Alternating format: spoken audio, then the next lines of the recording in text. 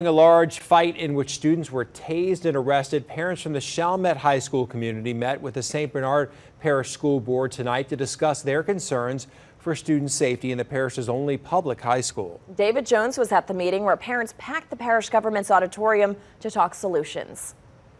Yeah, Lee and Meg, no doubt you probably remember this video from just a couple of weeks ago. Students at Chalmette High throwing hands in an all-out brawl. Eight students were arrested, two were tased, and two teachers were even injured in the melee. Now, the solutions include a new mentoring program, Dads on Duty, a volunteer program for fathers of Chalmette High students where they would act as mentors for students. They would undergo screening from the sheriff's office prior. The sheriff, James Pohlmann, was there this evening evening when asked about increasing staffing of resource officers at the parish's only public high school. Pohlmann said the sheriff's office is dealing with staffing shortages. Superintendent Doris Voitier was also present at the town hall. Some parents partially blamed overcrowding at the school for the fight, which started with just two students.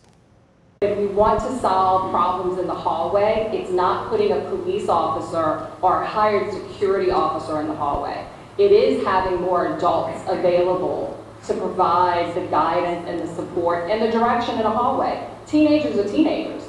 They're going to wander around if they're not directed to where they need to go. Since this has happened, we've had some additional conversations and, and additional organizations come up and offer their support, which we welcome in schools. So what we would like to do is to look at developing a more refined mentor program. Some later discussions centered on the need for another high school in St. Bernard Parish, something parents expressed support for.